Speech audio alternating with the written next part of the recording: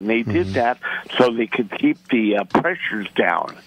That is one of the justifications for doing that exactly. And and of course, rifling is to send the bullet in a spiral like a football. For those of you that are new to the show, so what, what you're doing in, instead of sending out like uh, in the uh, the olden days, we would use a big old, uh, imagine a malted milk ball. That's, that's about right. Yeah, you know, a 69 caliber with a smooth bore, which comes out like a knuckleball. Which, if you've ever seen one of those, run. But you know, it, you could be standing 25, 30 feet apart and shooting and not hitting. Right. That's why you stood in lines because it was just kind of It's a the difference crapshoot. between an- no pun intended. Offside kick b- between a, a, a quarterback throwing the ball. There. Yeah, but now with with the spiraling, that sends it in a much straighter projectile.